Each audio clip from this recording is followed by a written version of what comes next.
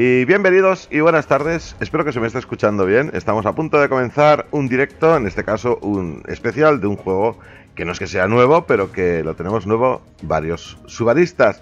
Así que hemos conformado un comando subarista y tenemos servidor propio también de Insurgency en Valve.